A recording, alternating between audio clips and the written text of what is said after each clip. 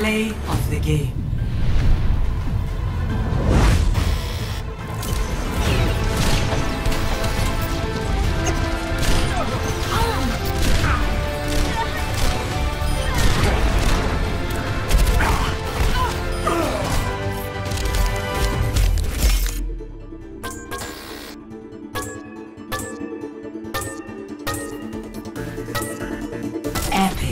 Excellence is its own reward.